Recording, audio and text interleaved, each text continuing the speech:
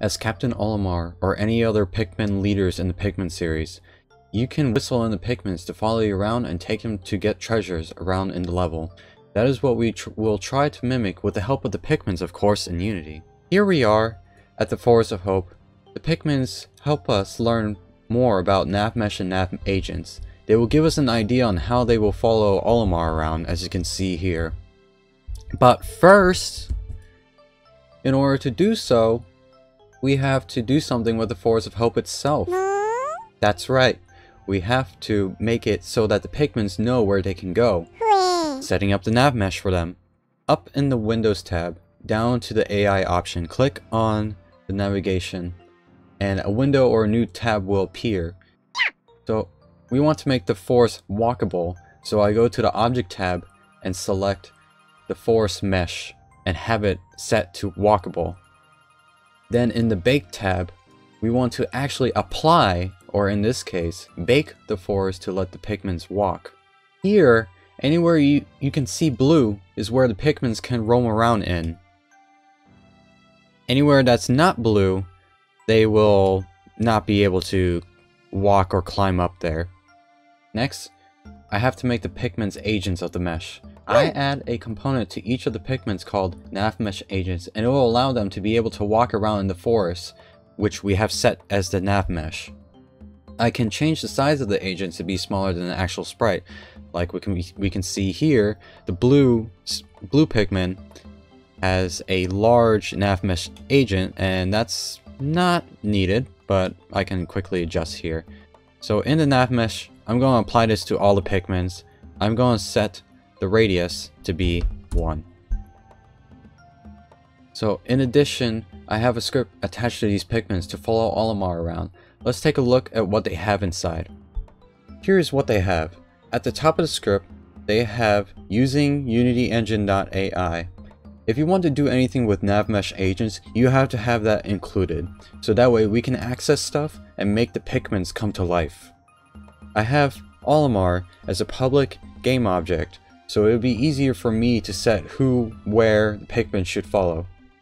In start function, I have Pikmin to grab the navmesh agent it from itself, which will be used shortly in the next line of code. In update, Pikmin dot set destination is the key line of code that will actually make the Pikmin move and follow the target destination inside. In this case, wherever Olimar goes, the Pikmins will follow him there.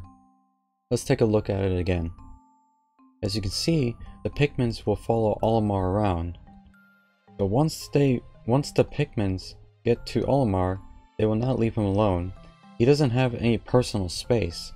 They need to have a stopping distance, which is located right here in the nav mesh agent. So I'm going to change that to 3 and move around a bit. So as you can see, they are giving him some personal space, which is good. Olimar needs his space. And they are a lot faster in the game. So I'm just going to increase the speed a bit just to catch up with Olimar. So I'm going to change the speed here to 9.5. Olimar is about 10 right now. So they are catching up to Olimar very well. Very quickly. They'll catch up and give him some space. And I think that's about it about... Hey, is that my title card? What is it doing all the way over there? I would like to have it back, please. Just like in the game, the Pikmins carry the treasures back to the ship. They will take my card and bring it over, just like they do in the game. Let's take a look at what they have here. There is an empty game object that groups the Pikmins and the card all together to act as one nav mesh agent. They also have a script that contains all these checkpoints that I created here in the path game object. So let's just set them, let's let them start bringing my card back. Meanwhile, they're doing that. Since they're slow, let's go check out their code. In the take back to the Dolphin script, I have an array of checkpoints that forms a path for the Pikmins to get back to the ship.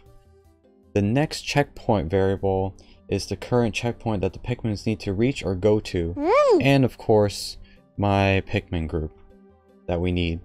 In the start function, we don't want the group to slow down as they reach the checkpoint.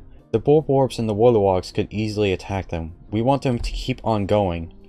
In the update function, I have it as if the distance between the Pikmin and the checkpoint is less than 1, then update its checkpoint to the next one.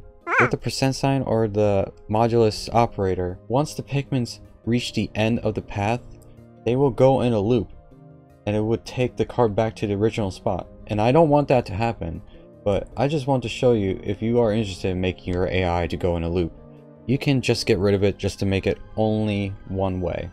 Down below here is just a hacky way of making the Pikmins go around the ship once they reach over there. Uh, this is not needed, so don't worry about that part. Wow. Thank you Pikmins for bringing back my card, and thank you for your help with NavMesh and Nav Agents. If these Pikpik Carrots looking creatures helped you out, please leave a like, subscribe to see more Unity tutorials with guests like these Pikmins.